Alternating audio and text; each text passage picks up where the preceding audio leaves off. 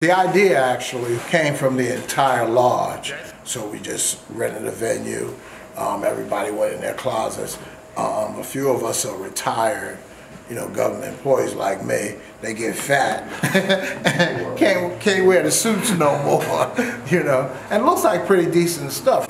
We target for the veterans and, and civilians job seeking, so we got a lot of suits. I'm not a psychologist or psychiatrist, but you know, you got a good suit on and you're well groomed. Hey, that, those are gonna give you points, of course, it's your abilities and all that. But if we can give them a couple of points going through the door, we did our job.